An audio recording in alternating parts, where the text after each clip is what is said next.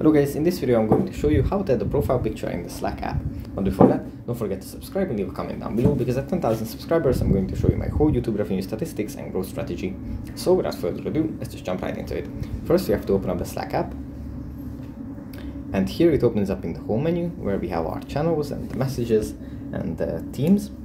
From here we have to tap on DMs in the bottom bar. And then uh, in the top right corner, we find this little icon.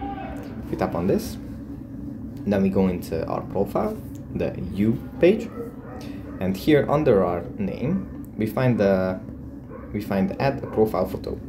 If uh, we don't have a profile photo, this is going to appear. If we have one, then uh, we can. Then there's another way to do it. Here we can. Here we have the option to either take a photo or choose a photo from our gallery.